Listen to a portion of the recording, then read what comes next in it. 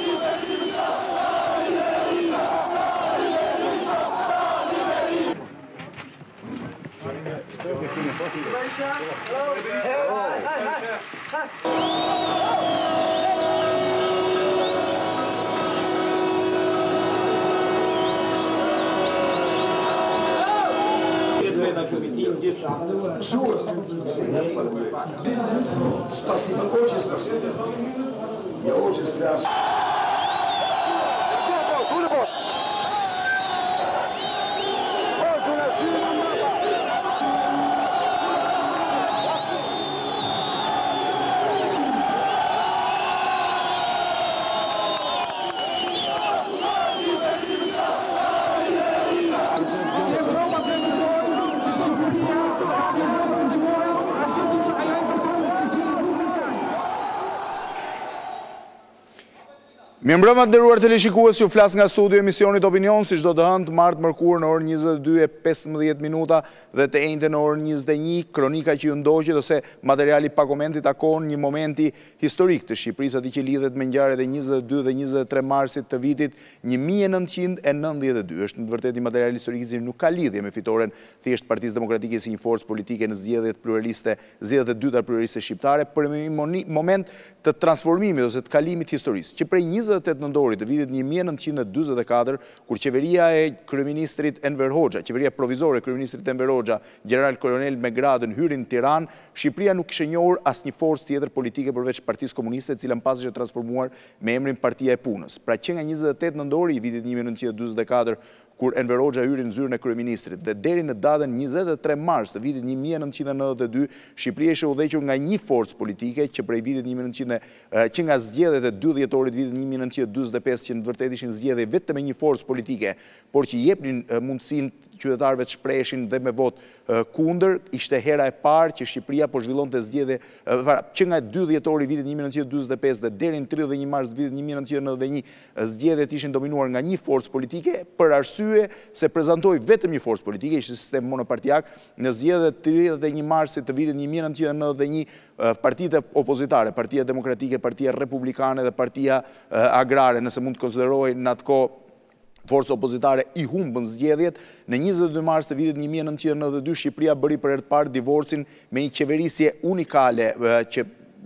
sikurse e thashë vijonte që prej dyzet e tetë vitesh. Për herë të parë një forcë tjetër politike me një program të ndryshëm, me ideologji të ndryshme, me një filozofi të ndryshme do të drejtonte Shqipërinë. Ky emision do të fokusohet tek ngjarjet e njëzet e dy dhe njëzet e tre marsit, sikurse thashë jo si një fitore e një force politike, por si një ndryshim i pushtetit politik mbas dyzet e tetë vitesh në Shqipëri. Emisioni i sotëm është i ndërtuar mbi disa kronika të kohës, ato të transmetuara në atë kohë në në televizionin publik, po kryesisht mbi materiale të patransmetuara kurrë më parë që i takojnë njërit prej operatorëve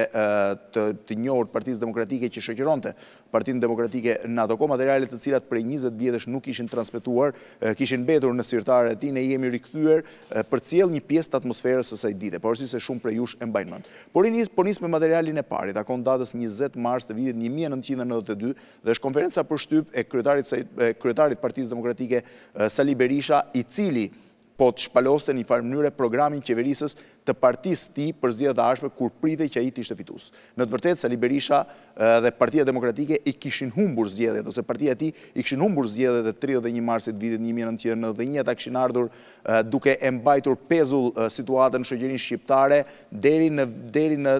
deklarimin e zgjedhjeve të parakohshme pra që u u që u morën në në maj të vitit në qershor të vitit 1991 dhe më pas në janar të vitit 1992 kur Ramiz Alia presidenti i asaj kohe dekretoi datën 22 mars për zgjedhjet e parakohshme. Le ta ndjekim konferencën e shtypit, sikurse thashë kryetarit Partisë Demokratike, momentet dy ditë përpara zgjedhjeve të 22 marsit, kur pritej tashmë që ai do të ishte fituesi i këtyre zgjedhjeve.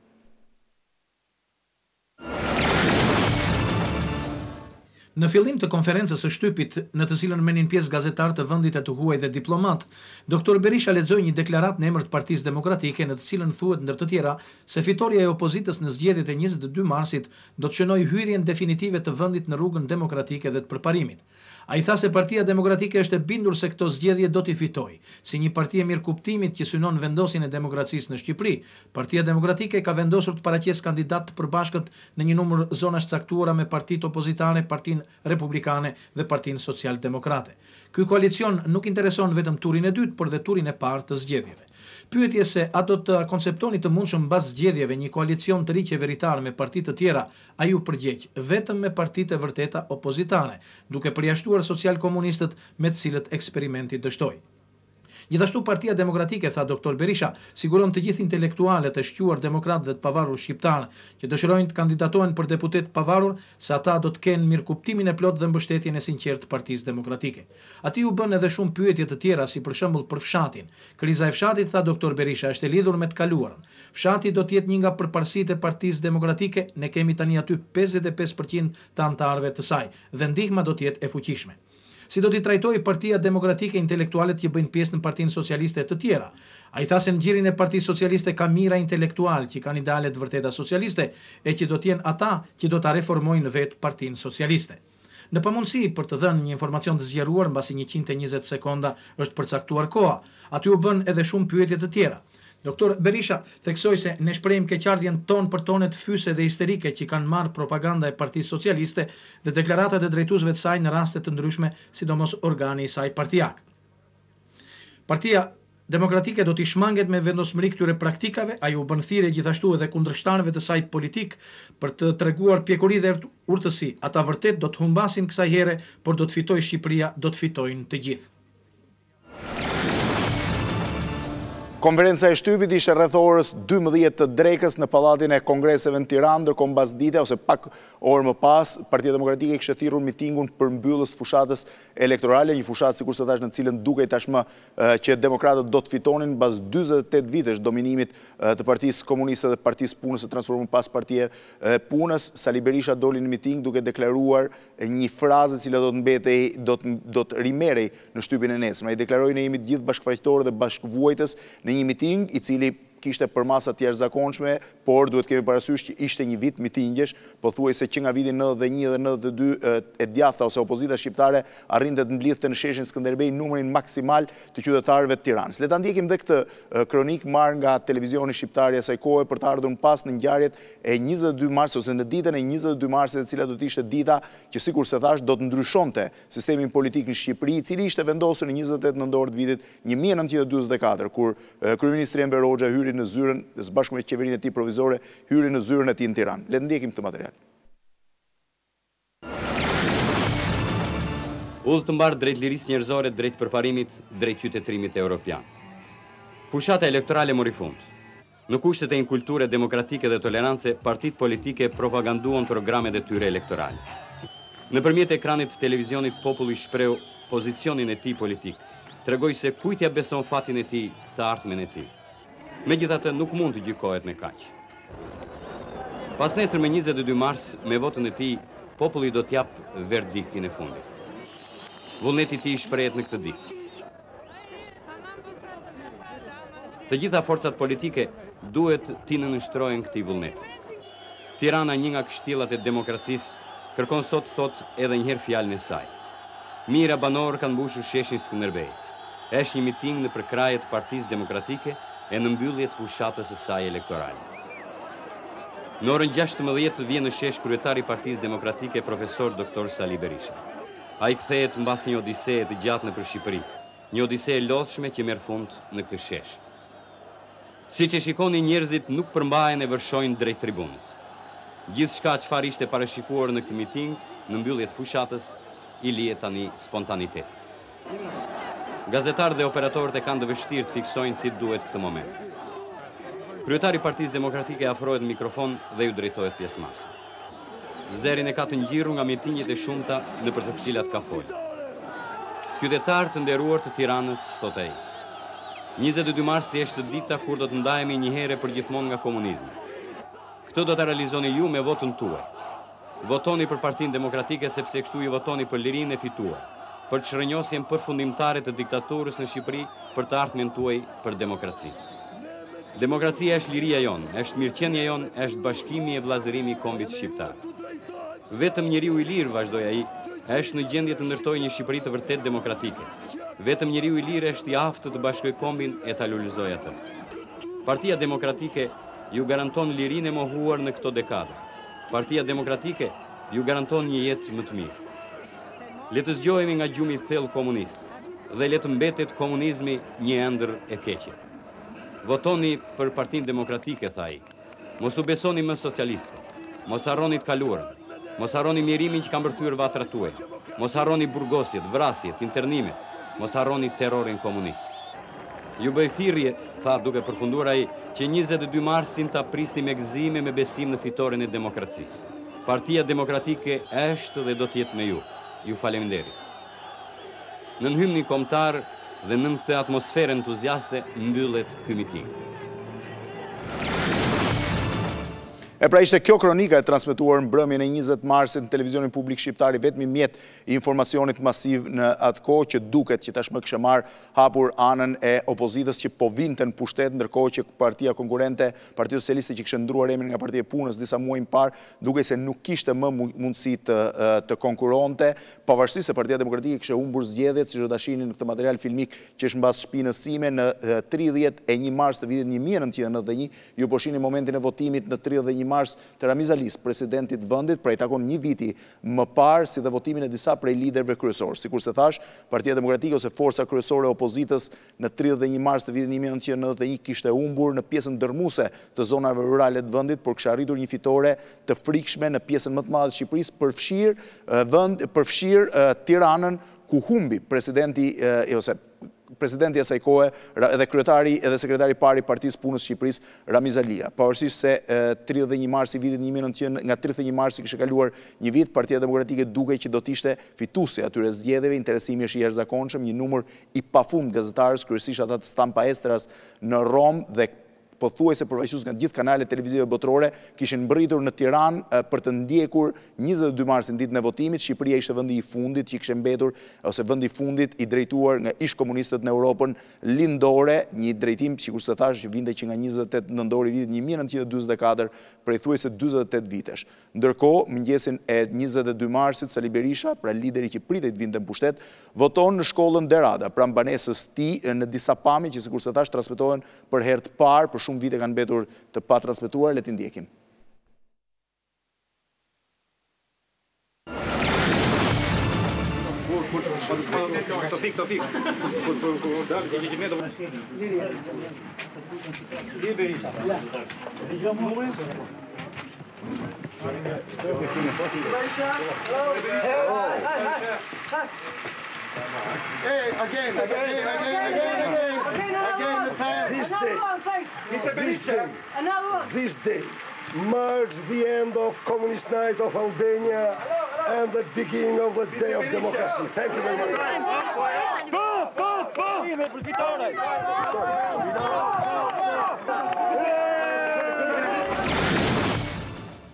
Po cila ishte atmosfera në selinë e partisë kryesore të opozitës shqiptare e cila pritej të vinte në pushtet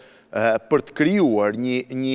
për të përcjellë një forcë tjetër politike pas 48 vitesh. Si ishte atmosfera në atë seli e cila më shumë se sa thjesht një parti opozitare i takonte një fronti dhe që mblidhte pothuajse pjesën më të madhe të forcave intelektuale dhe të rinjve të Shqipërisë.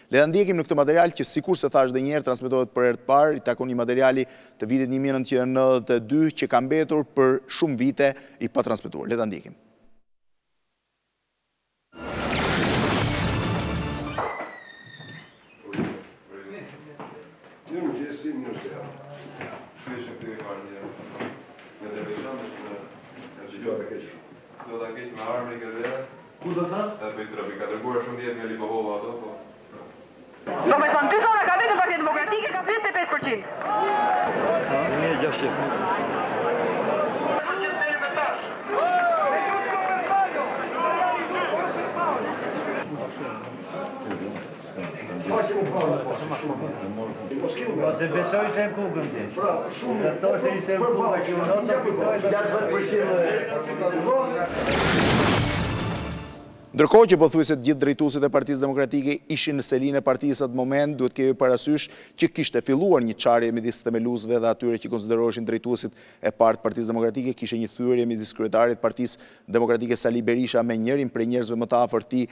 Gramoz Pashkon, kishte një thyerje midis atyre që kishin përfaqësuar Partinë Demokratike në Qeverinë e Stabilitetit dhe drejtuesve të Partisë Demokratike që nuk kishin marrë pjesë në këtë në këtë qeveri. Pavarësisht në këtë moment, në njëzet e dy mars, të gjithë janë bashkuar në selinë e Partisë Demokratike të bindur që kjo forcë po vinte në pushtet. Le të ndjekim sërish disa filmime që transmetohen për herë të parë për situatën brenda selisë së Partisë Demokratike në mbrëmjen e njëzet e dy marsit mbasi ishte mbyllur procesi i votimit dhe kur po vinin rezultatet e para.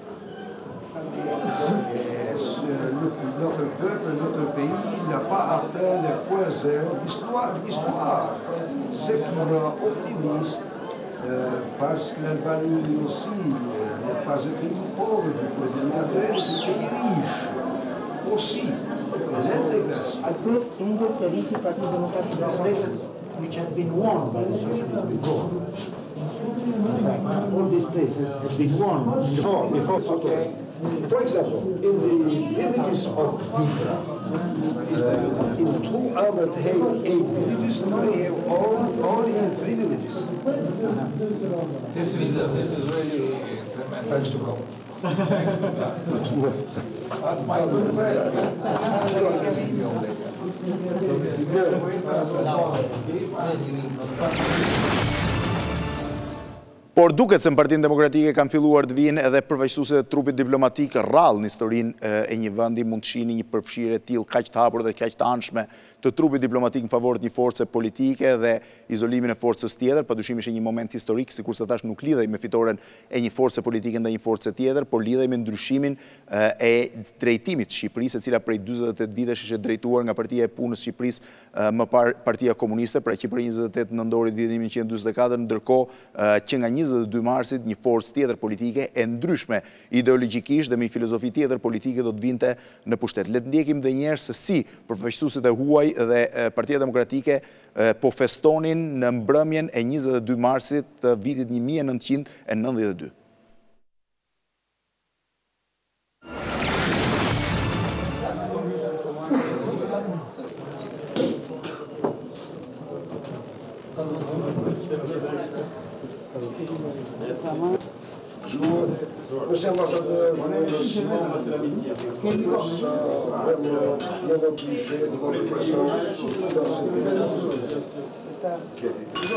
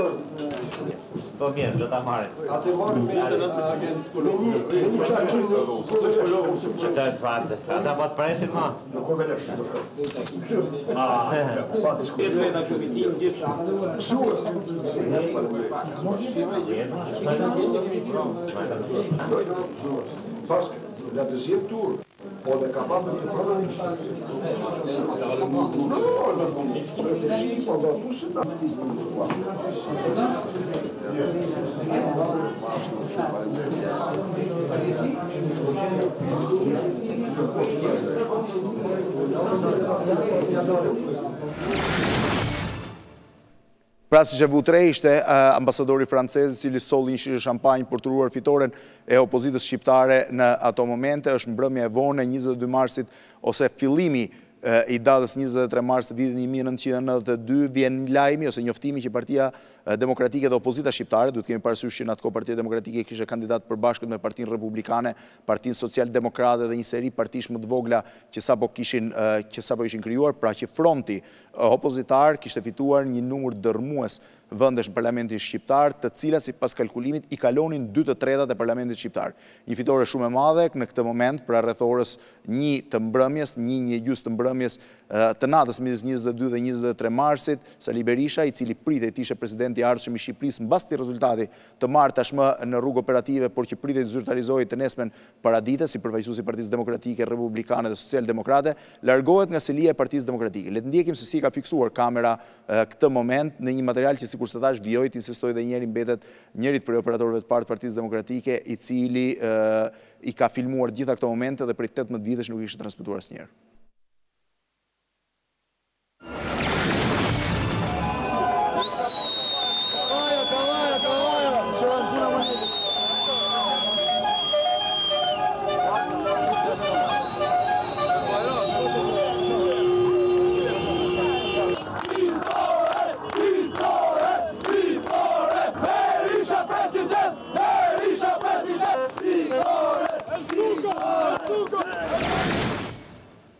Pra makina me kryetarin e Partisë Demokratike largohet nga selia e partisë, në mëngjesin e njëzet e tre marsit pritej jo vetëm të zyrtarizohej fitorja, që në atë kohë kërkonte një kohë shumë më të shkurtër për t'u deklaruar, por ndërkohë ishin dhe balotazhet të cilat u fituan të gjitha nga opozita shqiptare, përbërë nga Partia Demokratike, Partia Socialdemokrate dhe Partia republikane, por ndërkohë pritej të vinte mëngjesi i njëzet e tre marsit në mëngjes herët drejtuesit e Partisë Demokratike u rimblodhën sërish në selinë e kësaj partie për të pritur urimet e para dhe për të përgatitur një miting i cili konsiderohet një miting spontan për përgëzimi për mbështetësit e opozitës. Le të ndjekim mëngjesin e njëzet e tre marsit në selinë, pra ekzaktësisht tetëmbëdhjetë vjet më parë se kjo, si kjo ditë, si jemi sot njëzet e tre mars të vitit një mijë, të vitit dy mijë e dhjetë, le të ndjekim se si ishte situata në selinë e Partisë Demokratike ose të opozitës shqiptare në ato momente.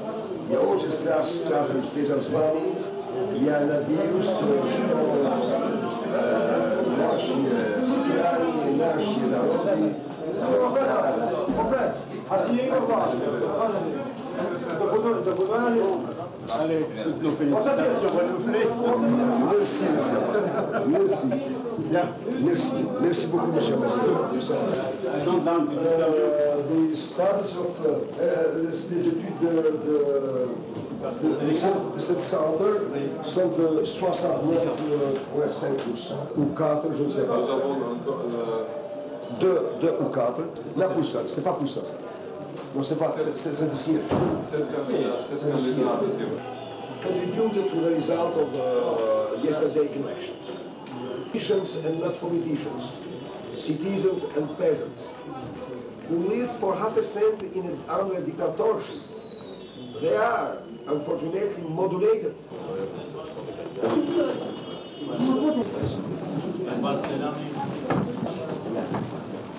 Thanks again, uh, Mr. Ambassador. First, I would express my gratitude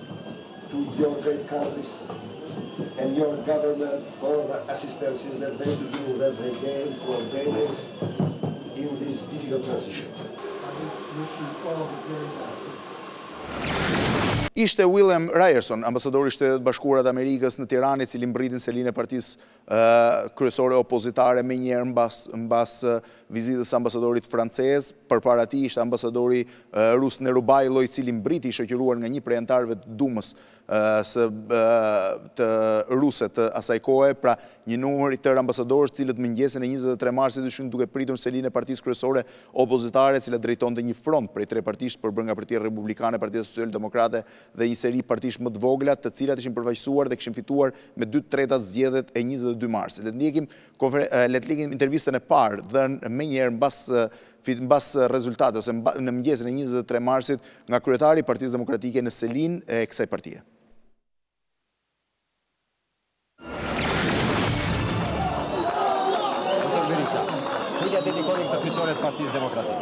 Fitorja e Partisë Demokratike është fitore e idealeve, e shpresave dhe ëndrrave të shqiptarëve për demokraci. Jam i lumtur sot që këtë ditë të bardhë, këtë ditë të madhe të demokracisë, shqiptarët treguan se janë në lartësinë e idealeve të tyre, në lartësinë e kulturës së tyre, në lartësinë e qytetërimit të tyre Ata i tregojnë Europës se janë pjesë e saj, se janë të vendosur në një mënyrë qytetare dinjitoze, të shkojnë drejt Europës, të bashkohen me Europën. Ky popull meriton një nderim të madh shumë. The, the next president, sir.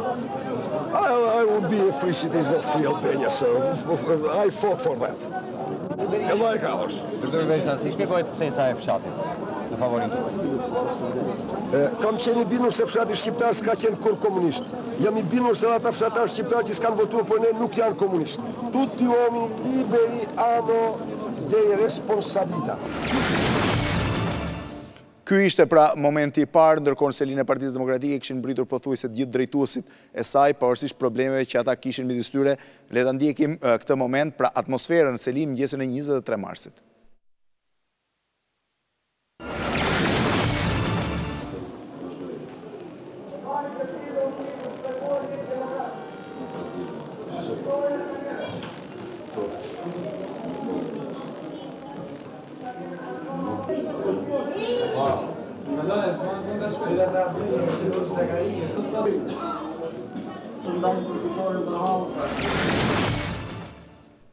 Dhe le të ndjekim një moment tjetër, është momenti po i mëngjesit të njëzet e tre marsit, kur Azem Hajdari, kryetari i parë i Partisë Demokratike për disa muaj nga dhjetori i vitit një mijë e nëntëqind e nëntëdhjetë deri për disa ditë, deri në fillim të shkurtit të vitit një mijë e nëntëqind e nëntëdhjetë e një, mbërriti në selinë e partisë, një prej udhëheqësve më popullorë të asaj kohe. Le ta ndjekim.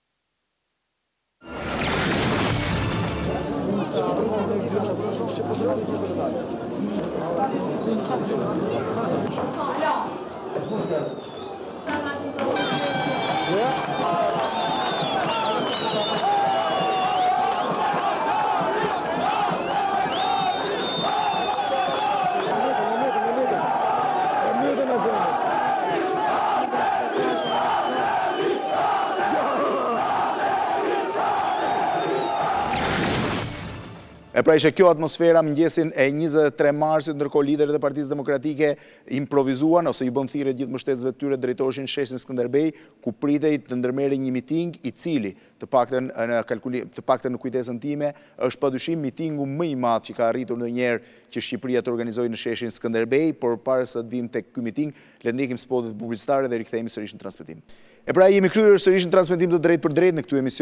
emision të fokusuar tek ngjarja e njëzet e dy marsit të vitit një mijë e nëntëqind e nëntëdhjetë e dy dhe dita në pasim, njëzet e tre marsi, jemi ekzaktësisht tetëmbëdhjetë vjet më pas, në një ditë e cila solli për herë të parë ndryshimin ose thyerjen e një periudhe dyzet e tetë vjeçare të dominimit të Partisë së Punës dhe ardhjen e një force tjetër politike me ideologji dhe filozofi të ndryshme politike, nuk bëhet fjalë për fitoren e një partie në raport me një parti tjetër, por për ndryshimin e një sistemi në një farë mënyre në Shqipëri dhe për ndryshimin për herë të parë të pushtetit politik që kalonte nga një forcë që e kishte mbajtur për dyzet e tetë vjet në një forcë tjetër politike. Jemi mëngjesin e njëzet e tre marsit ose në fakt mesditën e njëzet e tre marsit kur pothuajse të gjithë mbështetësit e Partisë Demokratike që nuk mund të qëndronin Në rrugën e Kavajës ku ndodhej selia e kësaj partie, u drejtuan në sheshin Skënderbej, ku pritej të vinti të vinin dhe drejtuesit e tjerë të partisë në një miting spontan, i cili sikurse e thashë dhe në mbyllje të të pjesës së parë, mbetet, të paktën në kujtesën time, mitingu më i madh që Shqipëria ka organizuar ndonjëherë në sheshin Skënderbej, pra mitingjet e paorganizuar, nuk bëhet fjalë për mitingjet e viteve të komunizmit kur njerëzit nxirreshin me detyrim dhe me kuadrate, por mitingu spontan më i madh që Shqipëria ka njohur ndonjëherë. Le ta ndjekim.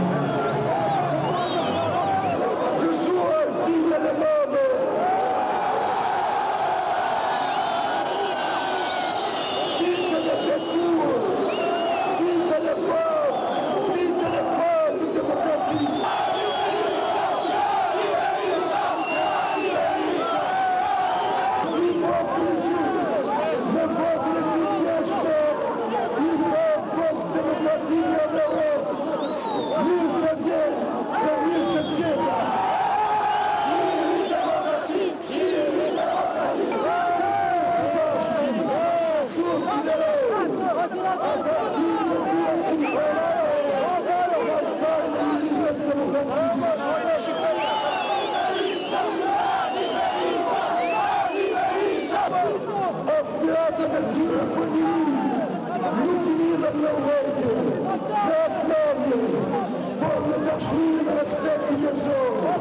ndaj lirisë dhe të drejtave të individit. Prandaj,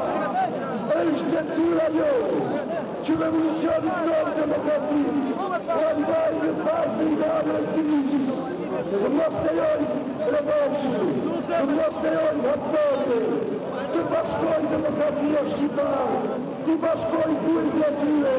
t'i bashkojë idealet e tyre demokratike, unë kam besim se do jenë një komb i pajtimit. Do të jetë një qeveri e cila do t'i kthejë rendin dhe qetësinë publike.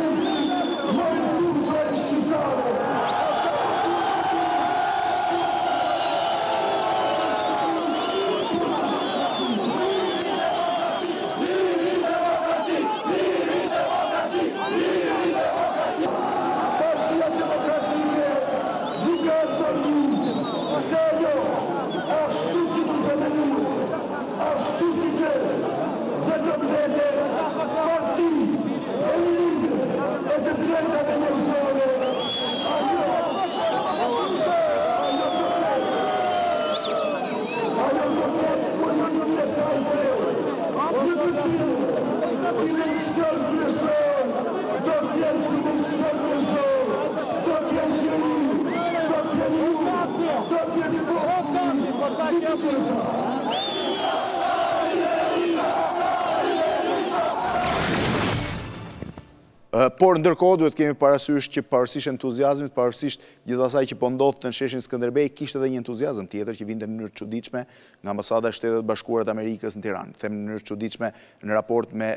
me diplomacinë, por në të vërtetë ishte diçka e pritshme për arsye se Shtetet e Bashkuara kishin mbështetur hapur opozitën shqiptare antikomuniste dhe njëkohësisht e konsideronin fitoren e saj një lloj triumfi të bindjes dhe besimit të tyre se liria funksionon, siç e kishte thënë edhe James Baker, sekretari amerikan i shtetit gjatë vizitës së tij në Tiranë në qershor të vitit një mijë e nëntëqind e nëntëdhjetë e një, kur deklaroi, Mos prisni që të ketë një mrekulli tjetër, unë mund të sjell vetëm një frazë, liria funksionon, përdorini atë. Në njëzet e tre mars, diku nga nga mbasditja e herët, menjëherë mbas mitingut, ambasada amerikane organizon një koktej në në me rastin e mbërritjes së një grupi investitorësh amerikanë dhe të fitores së Partisë Demokratike, një koktej shumë të çuditshëm, nga ata që nuk mund t'i gjesh më më pas, në të cilin merrin pjesë jo vetëm personat e ftuar, por edhe të gjithë ata persona që e ndjenin veten, pra flas persona publik, që e ndjenin veten pjesëtarë të kësaj fitore. Le të ndjekim filmimin që vjen, transmetohet sërish për herë të parë nga Kjo pritje e organizuar nga Ambasada Amerikane në Hotel Tirana ose Pesëmbëdhjetëkatëshi siç njihet, në njëzet e tre mars mbasdite.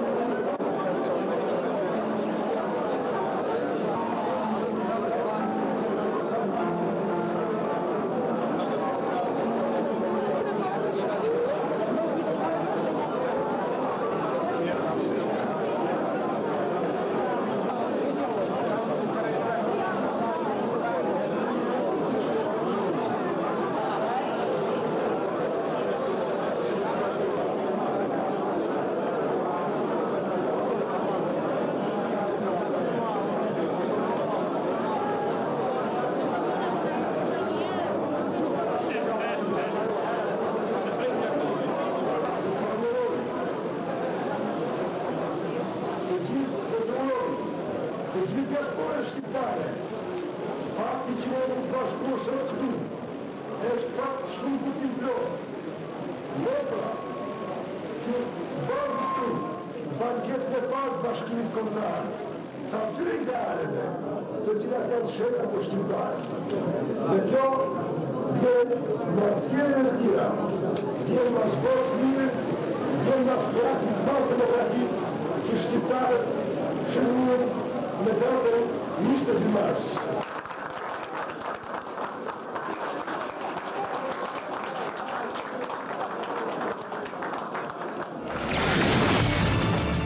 Ndërkohë, menjëherë nga kjo pritje e çuditshme, sikurse thashë, që ndodh shumë rrallë, në të cilën kishte ftesa, por kishin të ftuar dhe të gjithë ata njerëz që e konsideronin veten pjesë e një fitoreje, lideri i Partisë Demokratike, i cili tashmë ishte de facto,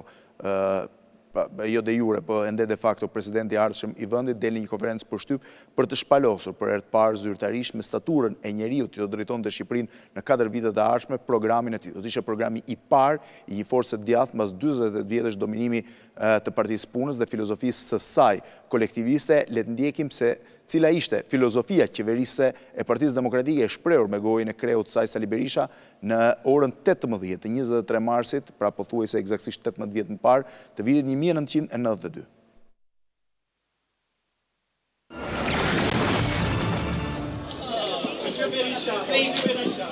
Très vieil ami à moi et journaliste bien connu se pre, ju lutëm, ju lutëm të gjithë antarëve dhe aktivistëve të Partisë Demokratike. Që janë këtu dhe s'janë gazetarë, t'u lëshojnë vendin gazetarëve. Një mik i shquar i imi, gazetar i njohur, ankohet këtu për këtë. Duhet të duhet të kujtojmë se këta kanë qenë aleatët tanë kryesorë në luftën për demokraci. Just Mister Berisha asked the present people who are not representing any newspaper or the media at all to leave the place to to the professional journalist.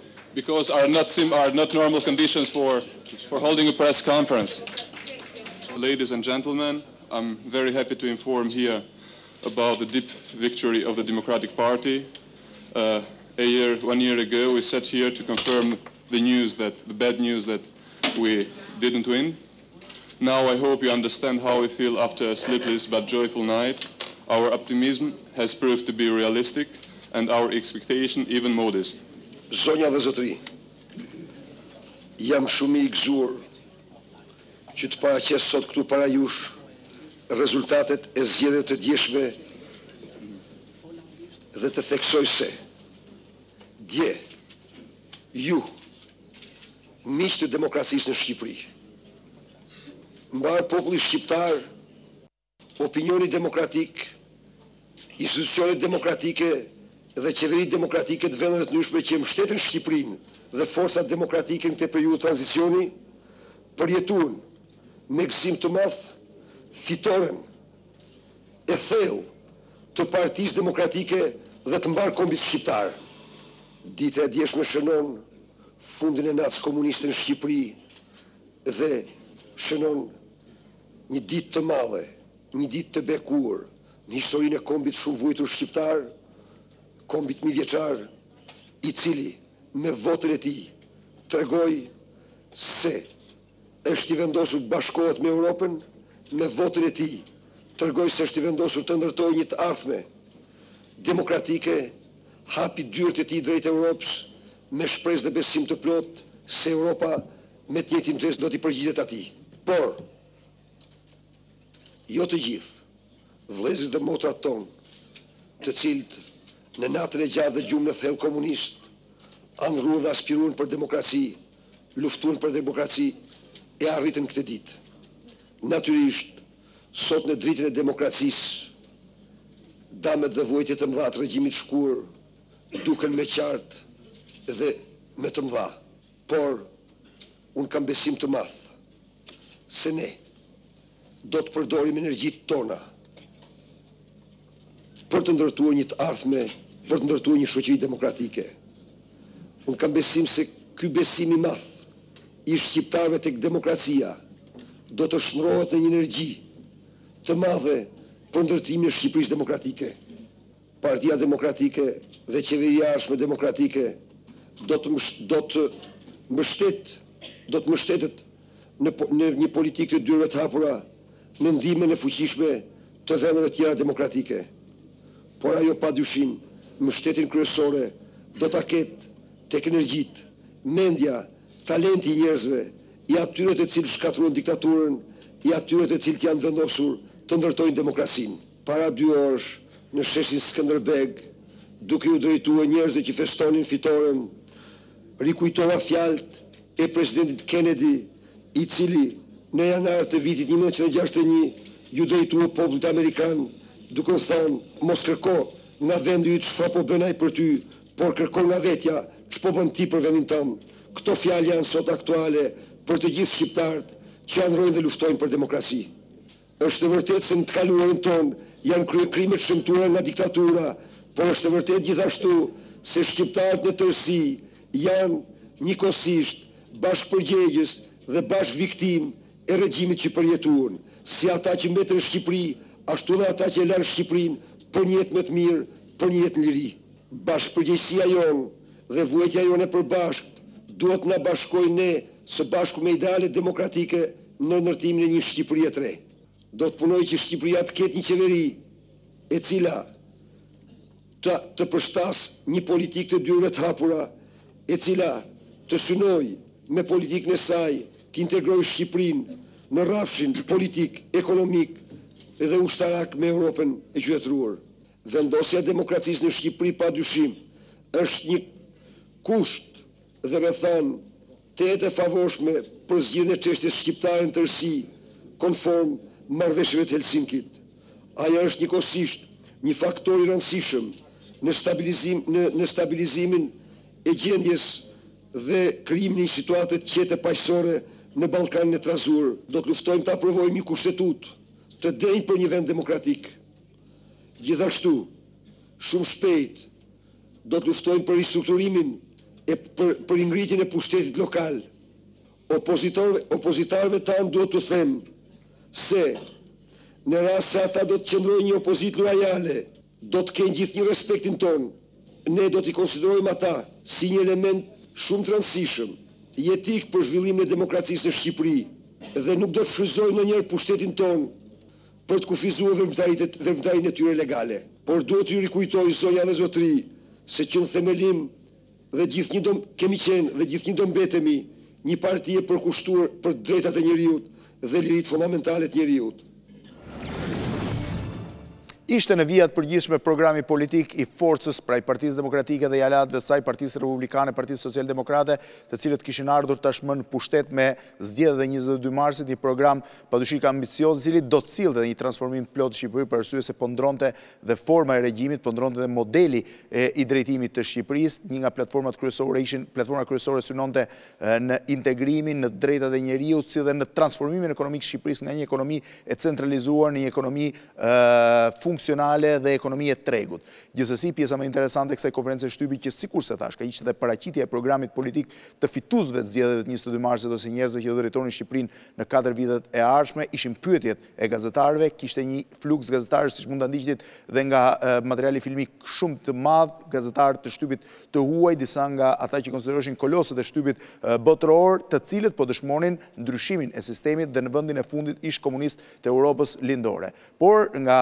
Pyetjet dhe përgjigjet që kanë zgjatur rreth njëqind e njëzet minuta, ka qenë një konferencë shtypi prej rreth dy orësh, ne kemi zgjedhur rreth gjashtë minuta pyetje përgjigje të kryetarit të partisë, pra pyetjet e gazetarëve dhe përgjigjet e kryetarit të Partisë Demokratike që përfaqësonte opozitën e bashkuar në ato momente, por përpara sesa të japim këtë material kalojmë dhe një herë spotet publicitare dhe rikthehemi për pjesën e tretë të emisionit. Jemi rikthyer sërish në transmetim për këtë pjesë të fundit të një emisioni të fokusuar tek një ngjarje e thuajse tetëmbëdhjetë viteve më parë, tek njëzet e dy njëzet e tre marsi i vitit një mijë e nëntëqind e nëntëdhjetë e dy, në të cilën, për herë të parë mbas një hegjemonie dyzet e tetë vjeçare, Partia e Punës ose forca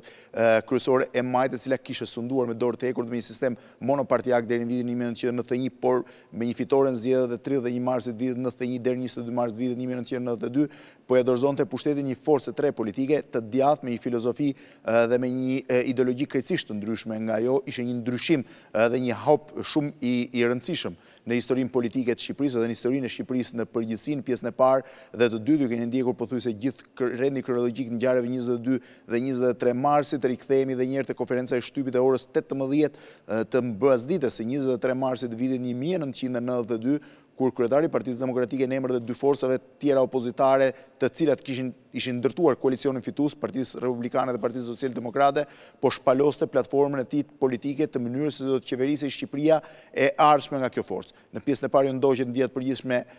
parimet kryesore mbi të cilat do të mbështetej qeverisja e djathtë e Partisë Demokratike, Partisë Republikane dhe Partisë Social Demokrate. Në këtë pjesë do të ndiqni një përzgjedhje të pyetjeve-përgjigjeve midis gazetarëve dhe kreut, gazetarëve të huaj dhe kreut të Partisë Demokratike, një pjesë mjaft interesante për të kuptuar se cila do të ishte filozofia Që kjo parti do të ndiqte në pushtet. Le ta ndjekim. Në situatën e re politike, cili është roli sipas mendimit tuaj për zotin Ramiz Alia dhe çfarë hapash do të ndërmerrni ju nëqoftë se ai nuk tërhiqet? Çështja e Presidentit të Republikës nuk është çështje e një kryetari partie. Ajo është çështje e Parlamentit të ardhshëm shqiptar dhe do të vendosë Parlamenti mbi zotin Ramiz Alia. A do të ndërmerrni hapa në parlament në qoftë se ai nuk tërhiqet? Këtë pyetje duhet t'ia drejtoni parlamentit të ri shqiptar. Ask the parliament for it. Misha Gleni nga BBC-ja, do të kthehesha përsëri te çështja e qytetarisë së dyfishtë. A nuk është krahasimi midis Evropës pak pa vend, sepse ndërsa Evropa është e stabilizuar, Ballkani sapo ka përfunduar një luftë dhe ndoshta përsëri mund të destabilizohej nga një hap i tillë? Zoti Glen, parimet e Helsinkit lëvizja e lirë e njerëzve është e njëjtë si për, duhet të jetë e njëjtë si për Ballkanin dhe Europën. Nuk mendoj se lëvizja e lirë kërcënon stabilitetin e asnjë shteti. Përkundrazi, në qoftë se Ballkani është mbrapa në këtë drejtim, duhet të ndjekë rrugën e Europës se vetëm në atë mënyrë do të gjejë stabilitetin e tij. Cili është mesazhi juaj për Kosovën, përkatësisht për shqiptarët në Kosovë? Mesazhi ynë është i qartë. Dhe do të përpiqemi të luftojmë që çështja shqiptare të zgjidhet. Shqiptarët në Jugosllavi duhet të kenë të drejtën për vetëvendosje njëlloj si kombet e tjera. Pra, është plotësisht e mundur që në kuadrin e Aktit Final të Helsinkit, shqiptarët të zgjidhin plot krejtësisht plotësisht problemin e tyre. Ata meritojnë vetëvendosjen, meritojnë shtetin e tyre dhe unë jam i bindur se Europa do do t'i njohë Këto të drejta edhe për shqiptarët sikundër i njohu për slloventë, për kroatë dhe për popujt e tjerë. Ne në të gjithë ne në programin tonë dhe në gjitha diskutimet tona me me qarqet politike greke problemin çam e konsiderojmë një problem i cili duhet të zgjidhet natyrisht ne nuk shtrojmë probleme kufiri por konsiderojmë si të drejtë të patjetërsueshme të drejtën e vëllezërve tanë çam të rikthehen në shtëpitë e tyre dhe në pronat e tyre, sepse ata u përzunë me forcë nga një regjim jodemokratik grek dhe tashti regjimi i sotshëm demokratik grek duhet natyrisht të respektojë të drejtat e tyre për pronësinë, për shtëpitë e tyre, trojet e tyre. Pyetja e parë ishte nëse Politika e pajtimit kombëtar, të cilës ju referuat në fjalimin gjatë mitingut të mëparshëm, mund të mund të sugjerojë edhe një bashkëpunim qeveritar me socialistët. Ndërsa pyetja e dytë ishte se ndërsa kritikat që iu bënë shpërndarjes së ndihmës italiane i referoheshin abuzimeve të bëra nga socialistët apo qeverisë italiane. Në vetë në konceptin tim pajtimi kombëtar nuk është një pakt qeverisje dhe nuk mund të jetë një pakt qeverisje. Pajtimi kombëtar është një akt i cili ka të bëjë me me shpirtin e njerëzve dhe në këtë mes nuk mund ta lidh me koalicion me parti të ndryshme. Për sa i përket koalicionit të të cilin me Partinë Socialiste ai është për t'u përjashtue, sepse ne e bamë një koalicion me Partinë Socialiste dhe ky koalicion me Partinë Socialiste u provue se ishte një dështim i plotë. Faktikisht, socialistët, gjatë asaj periudhe koalicioni, në vend se ta përdornin atë për të zbutur dhe lehtësuar sa më shumë tranzicionin e Shqipërisë, e keqpërdoruan qenien tonë në pushtet, na përdorën ne si një mburojë politike nga presioni i masave, lanë për ne përgjegjësinë, mbajtën për vete pushtetin dhe nuk u provua se ishte një insukses i plotë. Jam i mendimit se koalicion Partia Demokratike duhet të bajë me të gjitha partitë e angazhuara për reformën Partitë opozitare mund të bajë, si dhe me elementë të caktuar. Një gja do të theksoj, Partia Demokratike nuk do t'i vlerësojë njerëzit nga triska e partisë, por nga aftësitë e tyre dhe qëndrimi që ata do mbajnë ndaj reformës. Zoti Berisha, çfarë do ndodhë në bashkëpunimin tuaj me qeverinë greke në qoftë se ajo nuk e pranon propozimin tuaj për të lejuar çamët që të kthehen dhe cilat janë planet tuaja për pakicën greke? Partia Demokratike nuk ndjek politikën e saj të respektimit të drejtave të njeriut, nuk e bazon në parimet e Helsinkit dhe jo në se si aplikohen këto nga një qeveri apo nga një qeveri tjetër. Nuk ka ndonjë kushtëzim. Natyrisht, Partia Demokratike do të insistojë pranë qeverisë greke dhe të gjitha institucioneve demokratike që të njihen të drejtat e çamëve për pronat e tyre. Zoti Berisha ju flisni për rindërtimin e Shqipërisë, cilat janë prioritetet në fushën ekonomike? Transformimi, Prioritetet në fushën ekonomike do të jenë gjetja e stimujve dhe incentivëve për rritjen e prodhimit bujqësor, rifillimi i prodhimit në ndërmarrjet ekonomike që janë rentabel, transporti, turizmi, investimet e huaja, këto janë disa nga fushat në cilat do përqendrohet kryesisht qeveria e ardhshme demokratike. Zoti Berisha ju thatë se nuk do ketë hakmarrje, çfarë do ndodhë me zonjën Nexhmije Hoxha dhe me anëtarët e tjerë të Byrosë Politike që janë tashmë në burg? Së pari duhet të theksoj se as në këtë funksion dhe në asnjë tjetër nuk do të preferoja t'u përzihesha organeve gjyqësore në punën e tyre. Në qoftë se parlamenti t'ju kërkonte të bëheshit president i këtij vendi, a do ta pranonit ju këtë? Në mos gabohem zotëri mbrëmë ju thashë se kam luftuar dhe luftoj të jem qytetar i lirë i një Shqipërie të lirë. Ishte kjo pra përmbledhja Çilian e pyetje përgjigjeve, një përmbledhje nga rreth njëqind e njëzet minuta që ka zgjatur ajo konferencë shtypi, konferenca e parë e një drejtuesi jo komunist të Shqipërisë në njëzet e tre mars, pra që kishte konfirmuar në njëzet e dy mars dhe që priste të merrte pushtetin mbasditen e njëzet e tre marsit të vitit një mijë e nëntëqind e nëntëdhjetë e dy. Gjithë ky emision, ju e keni ndjekur edhe në hyrje të emisionit, te kronika është fokusuar tek kjo ngjarje, pra një ngjarje e cila nuk është nuk është fokusuar në këtë emision si fitore e një force politike, por si pika e transformimit dhe e ndryshimit të një të Shqipërisë, nga një shtet i cili ishte drejtuar prej dyzet e tetë vjetësh nga një forcë politike kryesisht monopartiake që prej vitit një mijë e nëntëqind e dyzet e katër deri në vitin një mijë e nëntëqind e nëntëdhjetë e një dhe që prej një force dhe një force që kishte fituar dhe zgjedhjet e tridhjetë e një marsit vitit një mijë e nëntëqind e nëntëdhjetë e një me një forcë tjetër të djathtë me një filozofi dhe frymëzim krejtësisht dhe ideologji të ndryshme politike. Le ta mbyllim këtë emision pra të fokusuar tek ngjarjet e tetëmbëdhjetë vjetëve më parë me një përmbledhje të atyre tre ditëve nga njëzet marsi kur Partia Demokratike, Partia Socialdemokrate dhe Partia Republikane mbyllën mitingun e fundit të fushatës, deri në 23 mars, kur ato festuan fitoren e tyre në sheshin Skënderbej. Ndërkohë, ju uroj natën e mirë dhe mirupafshim nesër, në orën njëzet e dy e pesëmbëdhjetë, në një intervistë mjaft interesante, me ish-ministrin e Jashtëm shqiptar, zotin Paskal Milo, në të cilin ai rrëfen të gjitha prapaskenat e ngjarjeve të Kosovës së vitit një mijë e nëntëqind e nëntëdhjetë e nëntë, duke nisur që nga ngjarjet e Rambujesë deri tek lufta e Kosovës. Natën e mirë dhe mirupafshim me këtë kronikë të përmbledhjes së ngjarjeve të njëzet e dy dhe njëzet e tre marsit vitit një mijë e nëntëqind e nëntëdhjetë e dy.